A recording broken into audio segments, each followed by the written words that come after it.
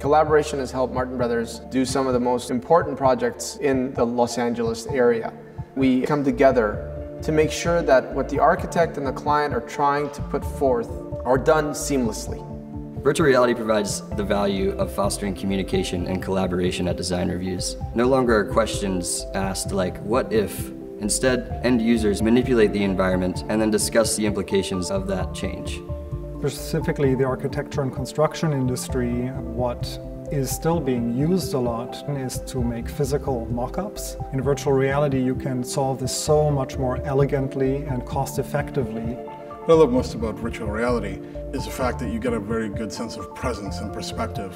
You can see it in much more depth than you can just by spinning a mouse on a computer. We can solve a lot of issues earlier on and uh, it doesn't affect the timeline of the construction nor the cost.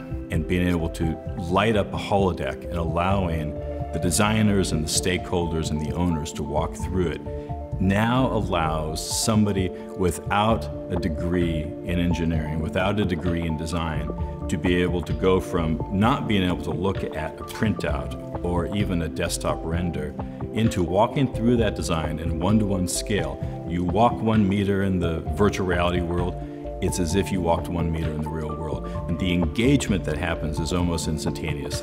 The partnership between WorldViz and Martin Brothers is essential because while WorldViz is a leader in the technology, we need the expertise and the experience that Martin Brothers brings to the table that's specific to the design and architecture and construction industries.